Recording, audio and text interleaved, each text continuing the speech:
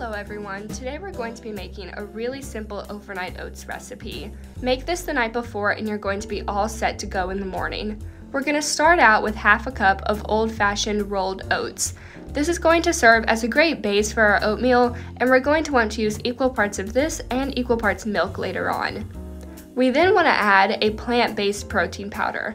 I like to use vanilla because it adds the amount of sweetness that I enjoy, but feel free to use whatever it is that you prefer or have on hand.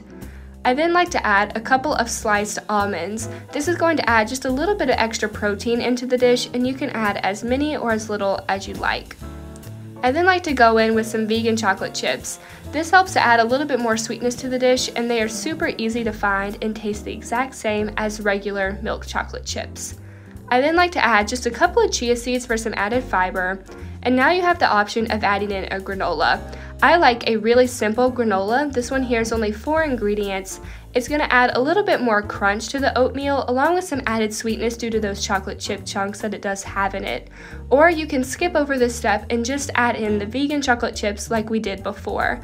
These here are the ones that I like and they are super easy to find at any Walmart or Kroger in the allergen free section.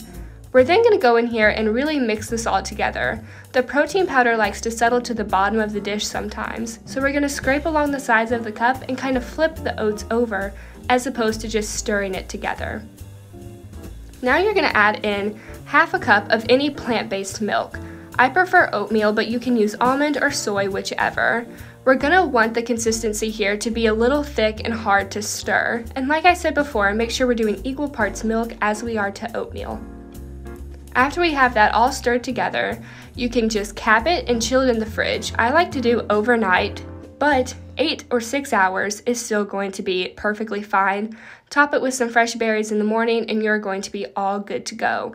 The most simple and satisfying breakfast that you've ever had to make.